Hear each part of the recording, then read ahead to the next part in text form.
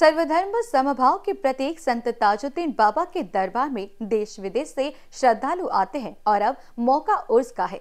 इस दौरान देश विदेश में बड़ी संख्या में जायरीन बाबा के दरबार में आते हैं। इस श्रृंखला में ट्रस्ट की ओर से बाबा ताजुद्दीन के सालाना उर्स पर दरगाह परिसर में हज़रत बाबा ताजुद्दीन ट्रस्ट की ओर से आने वाले श्रद्धालुओं के लिए लंगर से लेकर रहने की व्यवस्था ट्रस्ट की ओर से की गई है। यही नहीं, सुरक्षा के पुख्ता इंतज़ाम किए गए हैं। पुलिस सीसीटीवी द्वारा परिसर पर नज़र रखी है, ताकि किसी तरह की अनुचित घटना न हो। साथ ही आने वाले श्रद्धालुओं को कोई समस्या न हो, ऐसी जानकारी प्यारे खान द्वारा दी गई है।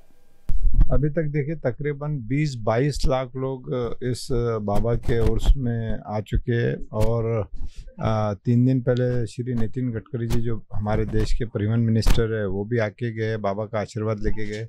हमारे चंद्रपुर से जो आप देख रहे हैं, जो एमएलए साहब है, जोगेश्वर जी जोरगेवार जी तो ये भी बाबा का आशीर्वाद लेने आए हैं और ये पिछले 45 सालों से बाबा का आशीर्वाद लेने कंटिन्यू आ रहे हैं। तो ये हमारे लिए एक बहुत फ़ख्र की बात है, बहुत बड़ी बात है।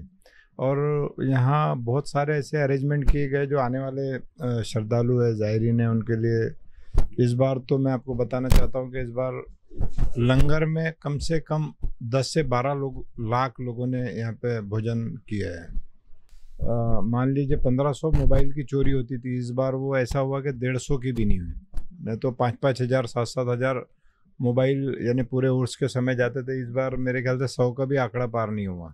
तो इतने बड़े इवेंट में इतना पुलिस का अरेंजमेंट बहुत ज़बरदस्त है। एनएमसी ने साफ़ सफ़ाई के लिए इतना अच्छा अरेंजमेंट किया और छोटे छोटे एक हॉस्पिटल यहाँ लगा के दी कि लोगों को किसी भी बात की तकलीफ़ ना हो और टॉयलेट का बहुत अच्छा इस बार अरेंजमेंट था। पानी की बहुत अच्छी व्यवस्था थी और ट्रांसपोर्टेशन का एनएमसी ने बहुत बढ़िया अरेंजमेंट किया और एनआईटी ने यहाँ का जो अतिक्रमण था, उसको निकालने में बहुत मदद की। तो मैं आपके चैनल के माध्यम से इन सभी को धन्यवाद देता हूँ।